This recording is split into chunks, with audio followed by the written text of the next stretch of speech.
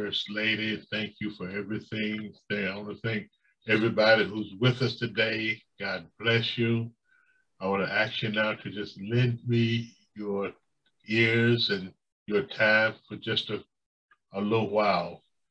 Pray with me as we ask God to bless us in this message, to help us understand that He is everything to us. We need Him. He does not need us, but He loves us. Thank God in the name of Jesus that he loves us and want us to come to him. Amen. Lord God, in the mighty name of Jesus, we thank you now, Father, for everything that you've done. We thank you, we honor you, we give you all praise and all glory as we ask you, Father, to bless this topic today. The topic of God's will is too high for the devil. Thank you, Father. We ask you now for all your many blessings. Father, we ask now that you will come and speak to your waiting people. Hide this old preacher, mute this old preacher, that you will be seen and heard and none of me. In the name of Jesus, as we ask that you come and mute this old preacher and show your spirit, we ask, Lord, that you will bless each and every one under the sound of this voice. We ask, Lord, that you would come and bless those who would, who is looking for an answer to prayers and to situations in the name of Jesus. We know, Lord, if you come and speak to your waiting people, all shall be made well with their lives, and all shall be made well with their souls. If you just come, Lord, and speak to your waiting people, we ask, Lord, that the words of my mouth and meditation of my heart be acceptable in thy sight. O Lord, my strength and my redeemer. Come, speak to your waiting people, that all shall be made well with us. Amen and amen. Praise the Lord. I want to thank everybody who had a portion, a part in this in this morning's service. But I would like to lift up this morning for for your consideration in your hearing an old saying that I borrowed from uh, from I borrowed from a rapper. Can't touch this. I believe his name is Hammer. Is this correct? Amen. I believe this man. This man's name is Hammer. He, he used to say, "You can't can't touch this, done, done, done." But what I am saying today, you can't touch this. God's will is too high for the devil. Can't touch this. God's will is too high for the devil. When you hear the proclamation today, too high for the devil, I am talking about obeying God's word and God making us secure in his will for us. When God gives us something to do, nothing or anybody can stop God's will for us. And when we obey God and live in his will for us, the word of God says in Psalm 91, 9 through 11, because thou hast made the Lord, which is my refuge, even the Most High, thy habitation. There shall no evil befall thee, neither shall any plague come nigh thy dwellings. For he shall give his angels charge over thee to keep thee in all thy ways. When you hear the expression today, God's will today, know that this expression is derived from the Word of God and is speaking out, uh, speaking about the work of God in both His creation at large and in the lives of every man, woman, and child's existence. God's will is composed of two aspects God's immutable plan for us all, which cannot be frustrated. In other words, what God has planned for us, we cannot change. And his desire, wish, involving the cooperation of all his human creation. See, God has a will for us that we cannot change, and he has a holy desire that we will hear him and cooperate in the in the obtaining of his will in our life. Another way to state these distinctions is to reveal is reveal uh, the first uh, as God supreme or determined will, and the latter as his moral or ethical will for us. In other words, God has a supreme will that he desires for us, and he has a moral and ethical will that he hopes we will follow. When we are living in the will of God for our lives, it is as if he places us on a high hill somewhere in this life. There uh, where those who are against his will for us and those who prefer a life of sin to his will cannot touch us. In other words, when we're in God's will, that and we're in his will willingly, there is nothing in this world that can break that will for us. Today, we will look at an occurrence in the life of that great prophet Elijah that shows God's control over evil and sin and how God will, will lead and protect and keep us if we are living in his will as he wants us to live and doing what he has for us to do in this life. Now, there is nothing known about the parentage of uh, Elijah the Tishbite. You know, his parents, we don't know anything about his folks, where he comes from, or where, uh, who he was, other than what the Bible says. We do not know his who his folks were, but we do know that he is one of the most unique and dramatic figures of the Bible and biblical history. We know that he is said to have been rugged in appearance. You know, the old saying about you can't judge a, uh, a book by its cover. I think this applies to Elijah.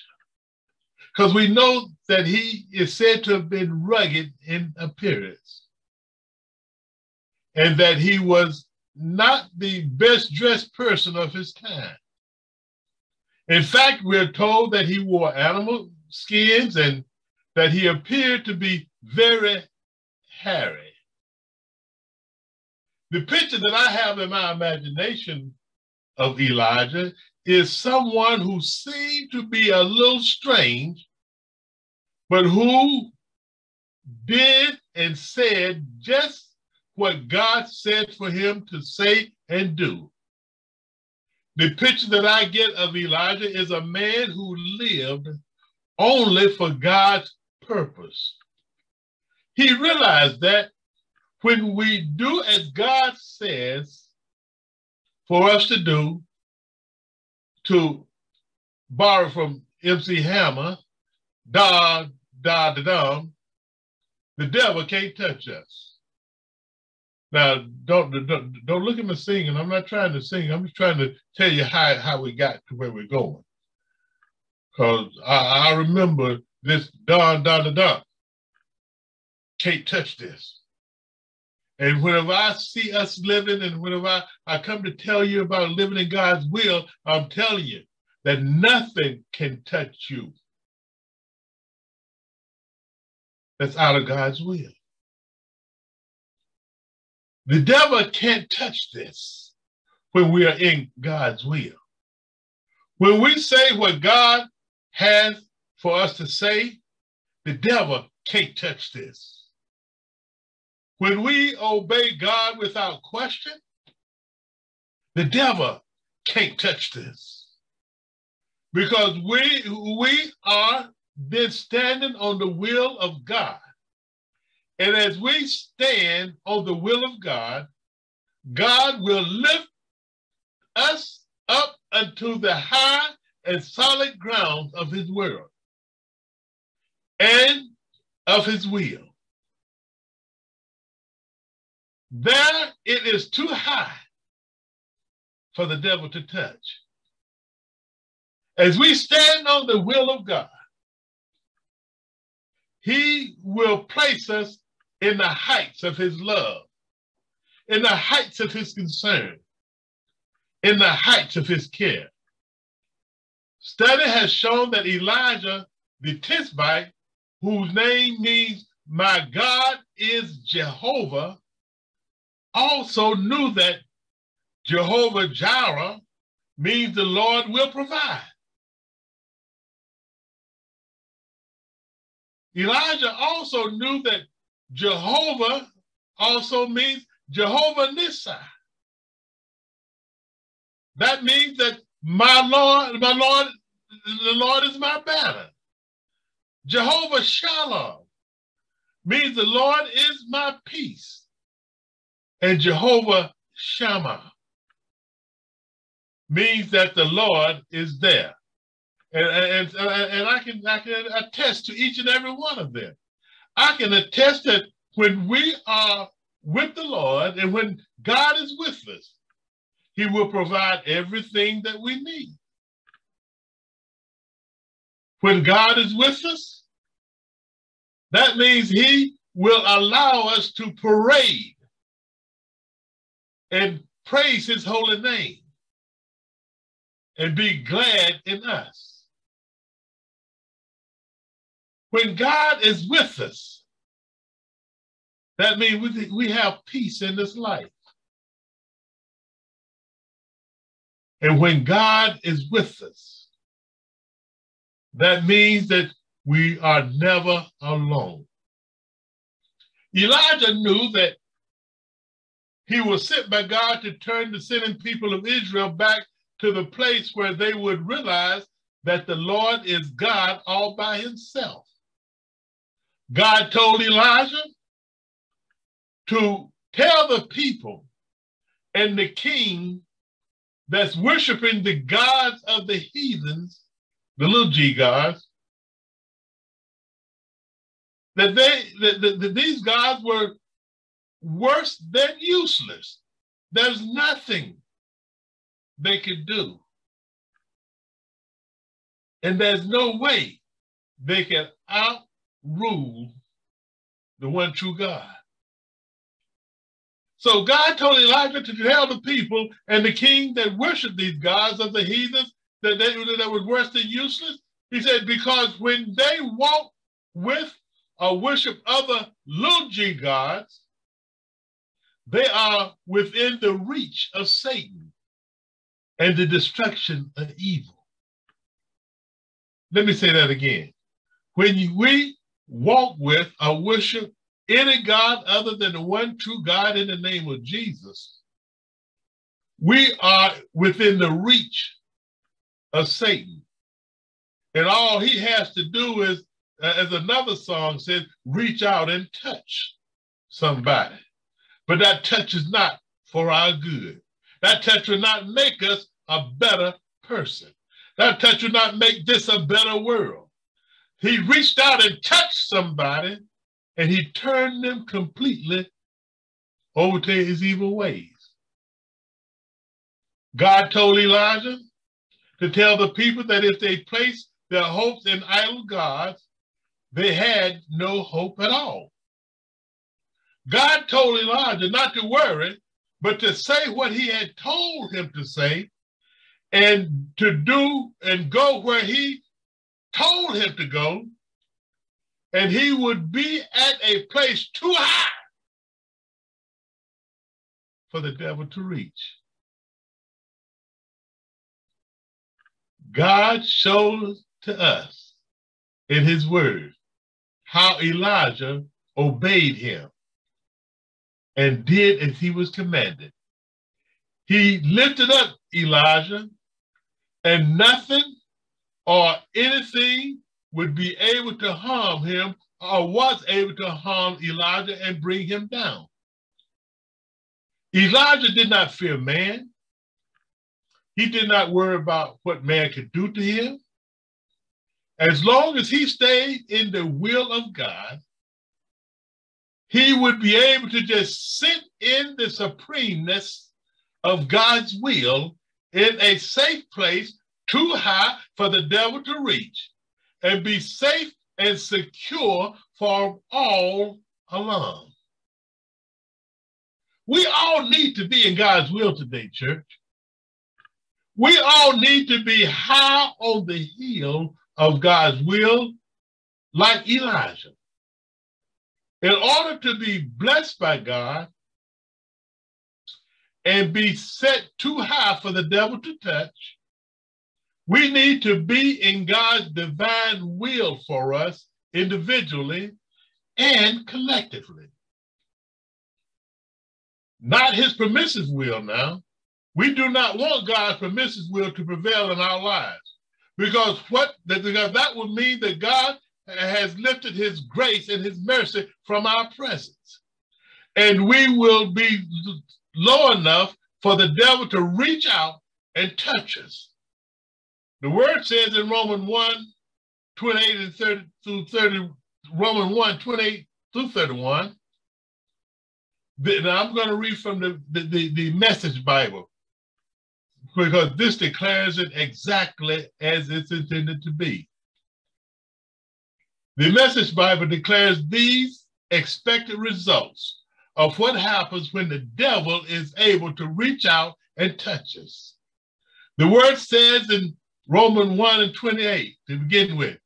Since they didn't bother to acknowledge God, God quit bothering them and let them run loose.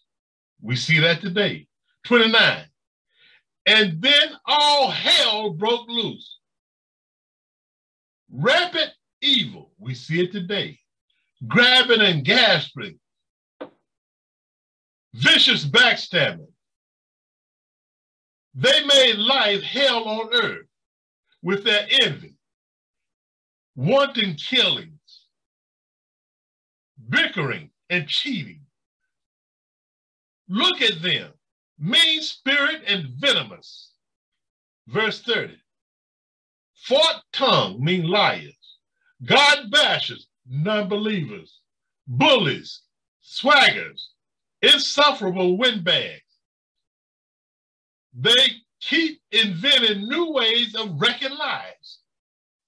They ditch their parents when they get in the way. Verse 31 stupid, slimy, cruel, and cold blooded. Read it for yourself. And they compare the King James to the Message Bible. The Message Bible breaks it down, breaks it down in today's terms, terms that we can understand. And I'm sure that you have seen how the more away from God this earth, this country gets, how each one of these characteristics seem to get bigger and more prevalent. And after a while, Satan is touching, the devil is touching every institution, the devil, to include the church, the devil is touching everybody except those who are still in God's will. When God has turned us over to a reprobate mind, the devil can and will touch us and bring us off the high hill of God's grace and mercy. Because God will turn us over to that reprobate mind if that's what we desire. That's his permissive will for us. He will allow us to go to hell. He's never going to send you to hell, but he will allow us to send us to go to hell on our own. I've heard people say, my God is too good for to send me to hell. That's why I don't believe there's no hell. My God is too good. Oh, no, no, no. God is too good. He's not going to send you to hell, but he his permissive will will allow you to make the trip by yourself. And once you get there, the devil will touch you forever and forever because you can't come back. Let us look at what's going on at this particular time in the prophet Elijah's life to understand how being on the hill, high hill of God's will, where the devil can't touch you, can and will protect us in this life. The Bible said that there was a wicked king ruling Samaria named Ahaz, Ahaz help me somebody, Ahaziah. Ahaz, well, the devil's trying to stop this, but I hear Ahaziah. Ahaziah, thank you. Praise the Lord. The, the Ahaziah. Ahaziah was a wicked king, just like his father, King Ahab, who had to deal with Elijah also. But we will talk about that at another time. However, I am told that King Ahaziah was a wicked king. He was a man who, who was just as evil as he was sinful he refused and rejected the only true, almighty true God, Jehovah. But one day, see, you might think you might get away, but I got some. But my daddy used to tell me, if the wash water don't get you, the rinse water will. One day, the king was walking around his house, continuing in his wicked ways. The Bible said that somehow he fell through a lattice and was injured very badly. Studies show that a lattice was something like what we would call a window or an opening today, made of strips of wood, or a window like construction in the roof of a building, like a, a sun roof, a sunlight roof, made with strips of wood.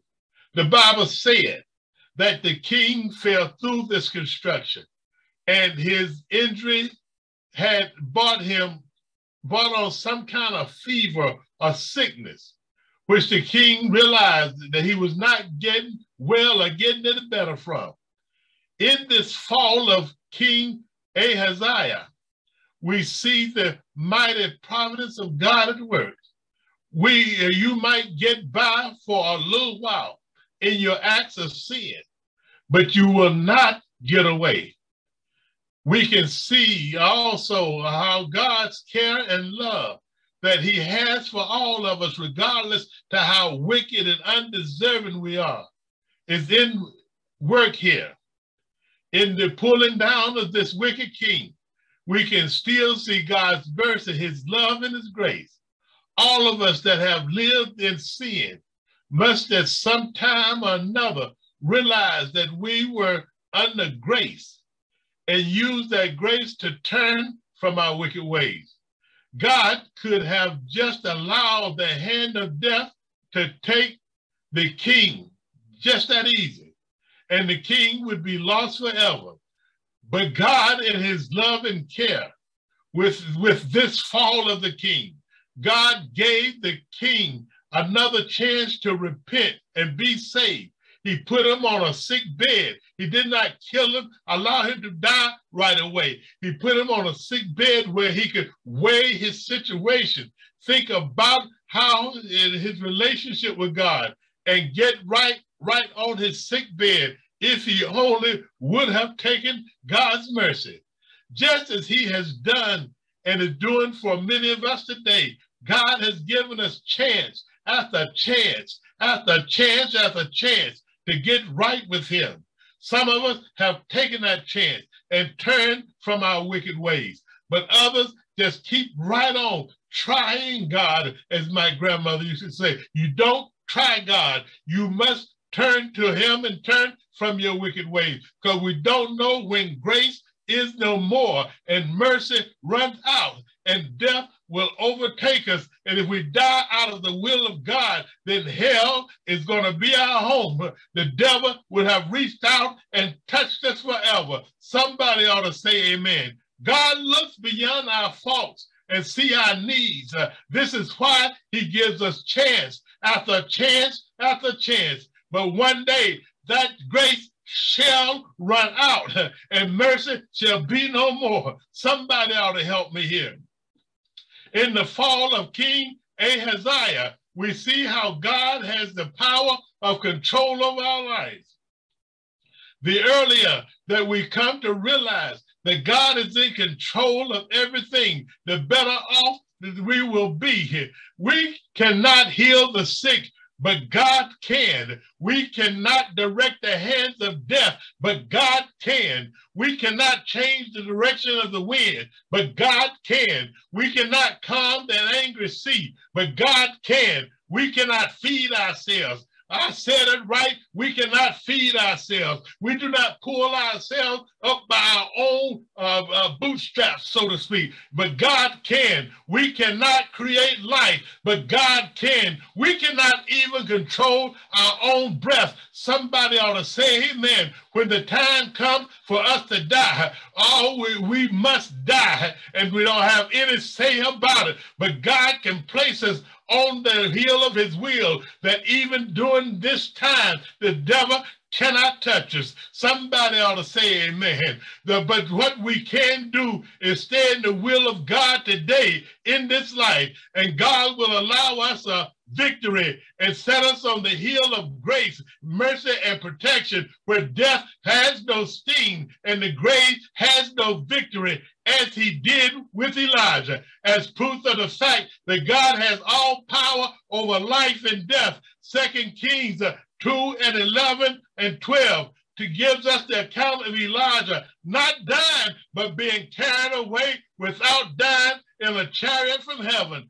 Can't touch this. Uh, it's too high for the devil. I tell you that if we live for God, if we're in his will, even when it comes time for God, for, for our deathbed to be made. I want Jesus making up my deathbed. I want him to fluff my pillows because when I get to the other side, the devil won't be able to touch me. But I open these eyes, I, I know I will. But I open the eyes on the other side, God will be there to grant me mercy, to grant me interest into his kingdom. And the devil cannot touch this. Somebody ought to say amen. The Bible said that God was so pleased with Elijah that he did not suffer death.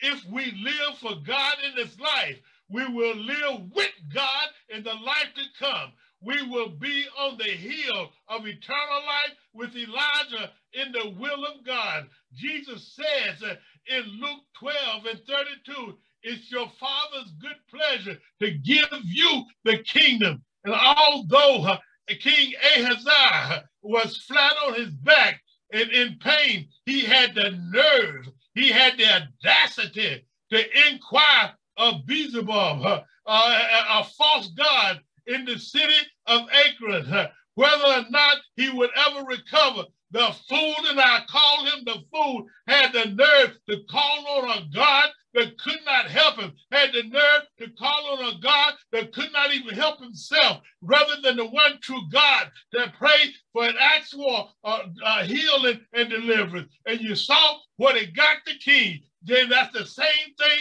it would get each one of us to call on a false God, to call on any other name except God in the name of Jesus. That was a fatal mistake of the king and one that did not have to be made because it was a mistake made in sin. The word of God tells us that we are never to consult with Satan about anything. Leviticus 19 and 31 says, Regard not them that have familiar spirits, neither seek after wizards, or to be defiled by them. I am the Lord your God. And Isaiah 42 and 8 states, I am the Lord, that is my name and my glory. I will not give to another, neither my praises to graven images. We need to have faith and to believe that the Lord, He is our God. And there is nothing too hard for our God. Where there's sickness, uh, He's a healer. Can't touch this. Where there's financial problems, He's a merciful and kind banker. You can't touch this. Where there are family problems, he's a counselor. Can't touch this. Where there are many kinds of troubles at all, he is our refuge and our strength. You can't touch this.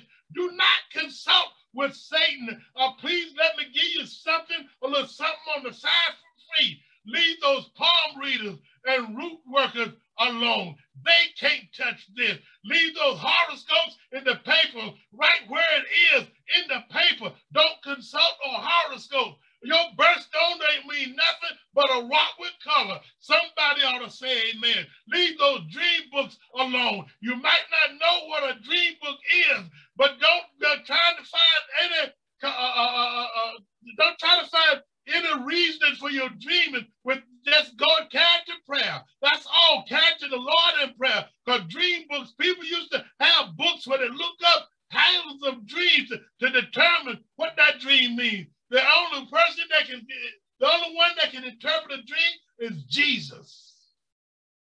Leave all those tools of the devil alone and go down on your knees and be carried up on the hill of God, of God's will as was Elijah, too high for the devil.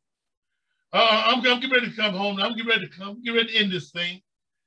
After the king's fall and the sickness had set in, the Bible says that Ahaziah sent messages, uh, messengers to inquire of the devil, Beelzebub, asking, shall I over, shall I recover from this disease? In other words, he was asking, Will I be healed? Ahaziah sent into an idol, a dead graven thing that, that, that, that, that man had made to ask a question that only God knows. When we, when he should have gone down on his knees before God, Ahaziah inquired of this false God in the eyes of God Almighty himself when we do these kind of things, God will send somebody to tell us about ourselves. God told Elijah to cut short the trip of the messengers and send them back to their king. God told Elijah to tell those messengers, to tell Ahaziah that God is not happy with what he has done. He tried to have another God before the one true God. The Bible said that Elijah told Ahaziah that the false God that he was calling on could not help him now. Elijah told Ahaziah that the God he was serving could not save him now. Elijah told Ahaziah that the God he gave his tithes and offerings to could not hear his cries of affliction now. Elijah told Ahaziah that the Lord, that God says, he shall not come down from the bed on which thou have gone up, but thou shalt surely die. God told Elijah to, to say just what the Lord gave him to say, and then rest on the heel of his help and protection. The devil can't touch this. Then do not worry about what the king might do or might say. I am told that King Uzziah became very angry and upset.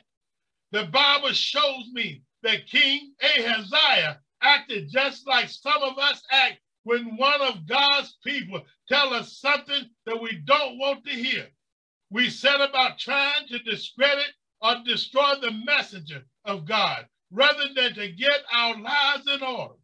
But be careful how you try to come against the person who is in God's will, because God will set that person on a hill of protection too high for the devil to climb. God said in First Chronicles 16 and 22, touch not my anointed and do my prophet no harm.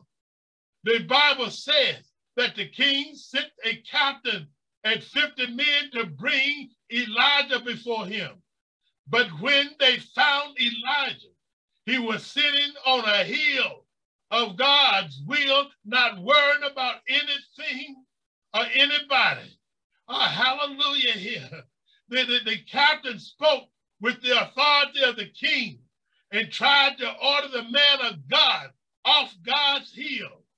The captain did not know that when we sit on the hill of God's will, it's too high for the devil to reach, and no man, no woman or thing can bring us down. I let me say it again. You can't touch this. Oh God, on God's hill, there's peace of mind. You can't touch this. On God's hill, there's a blessed assurance. You can't touch this. On God's hill, there's victory. You can't touch this. On God's hill is the will of God, and you can't touch this because God will stand by on the hill of his will. The captain of the 50 thought that the king's word would be enough to do the job, but he soon found out that when you are working against God, you will always come up on the short end of the stick. There is no power strong enough to overrule God. We can't touch him. Somebody ought to say amen. The Bible says that the captain says to Elijah, the man of God, uh, my king said for you to come off the hill and, and that hill right now and to come to him. I have orders to drag you down and take you to the king. Elijah said, if I be a man of God, listen to that confidence. If I be a man of God, then let the fire come down from heaven and consume you and the 50. And the Bible tells me that right then and there, whoosh, that came the fire down from heaven, and the captain and all 50 of his men were no more. You can't touch this. Uh, when God says something, you can't touch this. Church and all those who will try to offset God's will for your own, for your own motives, you better listen to what I'm saying. You had better know that God is not going to stand by and let his people be used and abused at the hands of sinners. There will be some kind of fire. That means trouble. Come down from heaven and whoosh, all the troublemakers will be taken away. Oh, hallelujah. The word says, fret not yourself because of evildoers, because soon you shall be blown away. Somebody ought to help me here. And I am told that King Ahaziah still did not believe God's resolve to take care of his own. And the Bible says the wicked king tried it again, for he sent another captain and his 50, the same to the same sure destruction, trying to get the man of God off the hill of God's will. And the Bible says that, that, that, that, that Satan has put it in the king's mind that he was over God. But that, that is what Satan will do. He will not allow those who are out of God's will uh, to have eyes, to uh, ears to see the damnation that is about to overcome them when they disobey God's will. The, the fire from heaven came down on the second 50 uh, and the king and the captain himself. Elijah told him the same thing he told the first captain and the first 50, and whoosh, the fire came down. If we just open our hearts, we can easily see that God is God all by himself. This is what the third captain said did. The Bible said the third captain came not on his own authority or the authority of the king, but rather seeking mercy and grace of God.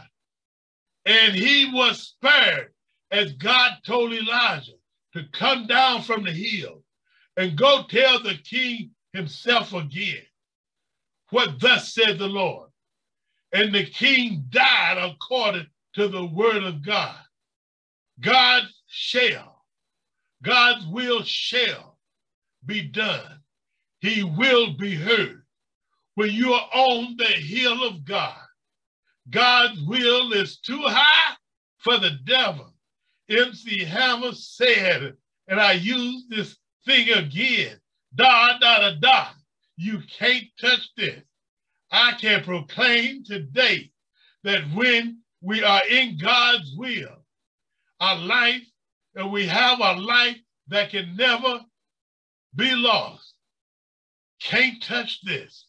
When we're in God's will, we have a seal that can never be broken. Satan can't touch this. When we're in God's will, we have a forgiveness that can never be lost. Can't touch this. When we're in God's will, we have an intercessor who can never be overruled. You can't touch this. We have a victory that can never be conquered. You can't touch this. When you're in God's rule, when you're in God's rule, when you're in God's will, we have a hope that can never be sorrowful. We can't touch this. When we're in God's will, I'm getting ready to close. I'm going to close this thing out by bringing the hope and let you see the hope of our eternal glory. In God's will, in God's will, we have a resurrection promise one day that can never be stopped because nothing on earth can stop God's will for us to take us home to be with him one day. There's trouble all around us, but fret not yourself because God is in control. You might look like the devil is overruling, the devil is having his way, but one day and one day soon, we're going to see that you can't touch this. You can't touch what God has said is going to happen. If God made a promise, He's going to do it. He promised a way for us to see salvation. That salvation is open, but we must stay in his will. Somebody ought to say amen. There's not, not enough days in our life that we can uh, outsmart God. God knows everything. Nothing's impossible for him, and we cannot touch his will with our will. So let us live in God's will and in the safety of his eternal grace, his mercy, and his love, and go home to be with Jesus one of these days. Amen and amen.